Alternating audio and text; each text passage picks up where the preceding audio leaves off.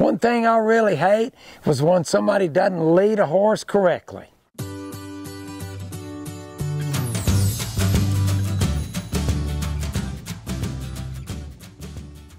Well, here's another thing I really hate, and that's leading a horse incorrectly. You can see she just has that constant contact with this horse, no release. So even if he did step up, there's nothing in it for him. She's just pulling, not leading. Guys, that's not the way you want to train a horse.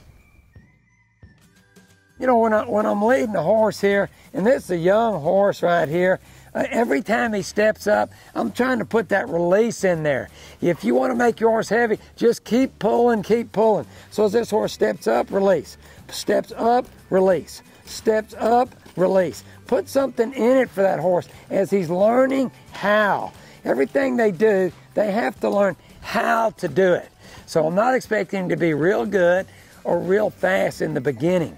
Let's put that softness in there. And by putting that softness or that release, that's how they're going to get better. Remember, it's the release that makes them great, not the pull.